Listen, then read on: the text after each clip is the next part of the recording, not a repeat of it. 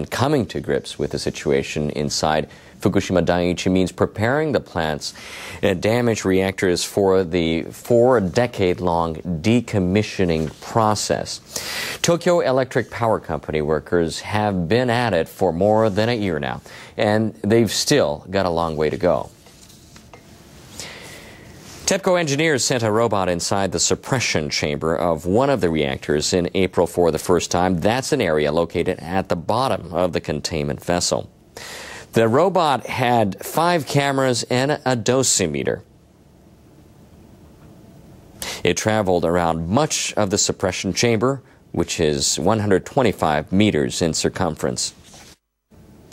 NHK World's Hidehiro Hanada talks about the results of the inspection. Hidehiro, what's behind the decision by TEPCO officials to inspect the suppression chamber? The main purpose of the inspection was to check for any damage to the suppression chamber.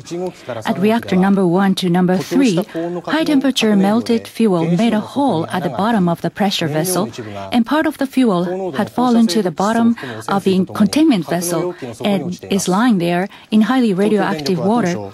TEPCO had initially thought the water level in the containment vessel of number 2 reactor was about 3 meters, but the inspection using an endoscope has found the water is just 60 centimeters deep. This indicates the water is leaking from the suppression chamber. The government and TEPCO are planning to fill the con uh, containment vessel with water to retrieve melted fuel rods inside. Any water leak must be located and repaired before filling it with water and this inspection was the first step in achieving that. Tell us uh, uh, more details of uh, the inspection itself. Uh,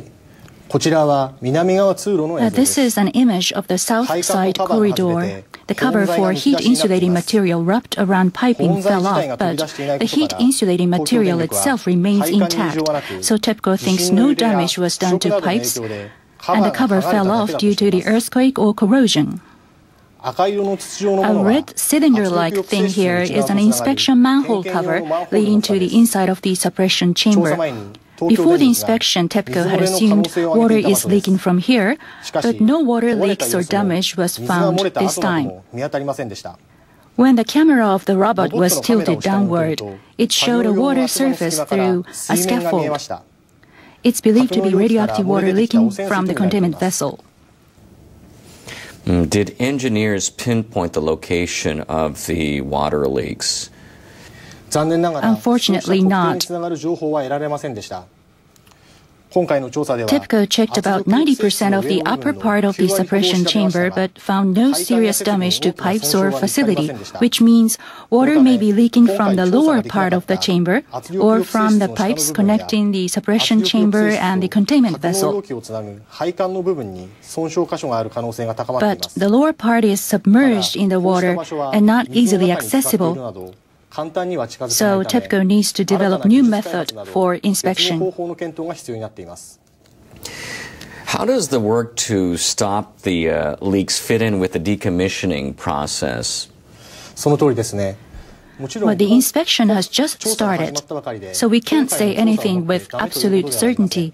But TEPCO has learned this time locating leaks is difficult even at number 2 reactor, which is less damaged, therefore chosen to be inspected first.